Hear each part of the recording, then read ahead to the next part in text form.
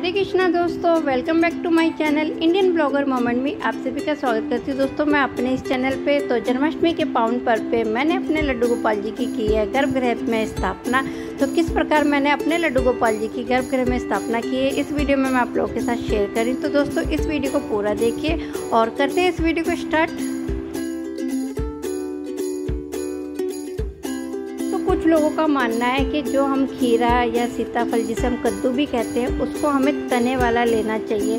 तो तने वाला अगर हमें ना मिले तो क्या हम पूजा नहीं करेंगे? ऐसा कुछ नहीं है दोस्तों। हम बिना तने वाला खीरा या सीताफल जो है, उसको भी हम पूजा में ले सकते हैं और अपने लड्डू गोपाल की उसमें स्थापना कर सकते हैं। तो मैं अपने लड्डू गोपाल की इसी में स्थापना कर रही हूँ। अंदर कितनी आस्था है प्रभु के प्रति, ये सब चीज़ें मायने रखती है दोस्तों। तो जो भी उस समय उपलब्ध हो वस्तु उन्हीं का प्रयोग करके अपनी पूजा का आरंभ कर सकते हैं। तो मैंने चकोर आकार में सिक्के की सहायता से काट लिया है दोस्तों, और इसमें हम चाकू का प्रयोग नहीं करते, क्योंकि यह हमारे लड्डू गोपाल जी का गर्भगृह है।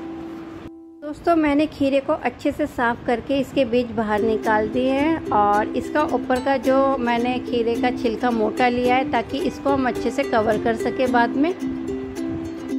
और ये हमारे छोटे से लड्डू गोपाल जी तो हम इनका करेंगे रात्रि में जन्म उत्सव और ये इस समय जा रहे हैं गर्भगृह में। अब कर रही हूँ मैं अपने लड्डू गोपाल जी को गर्भगृह में स्थापित। तो हमारे लड्डू गोपाल जी जा रहे हैं अब गर्भगृह में और रात्रि में होगा इनका जन्म। तो चलिए हम इनको बैठाते हैं इस छोटे से खीरे के अंदर और छोटे से लड्डू गोपाल जी का जन्म होगा अब रात्रि में। तो इसको इसमें बैठा दिया। अरे, ये तो बाहर आ गए। चलिए फिर से इनको बैठाते हैं। तो इनको हम रात्रि में अब लेके आएँगे और इनका करेंगे जन्म उत्सव और इनका करेंगे फिर से स्वागत।